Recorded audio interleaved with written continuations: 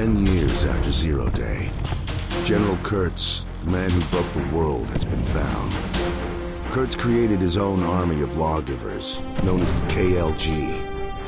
Appointed himself supreme warlord of the city. We are the United Armed Forces, an elite team of soldiers, the last vestige of the old order. Based on intel, we were sent in to destroy the KLG and bring Kurtz to justice. However, not all missions go according to plan.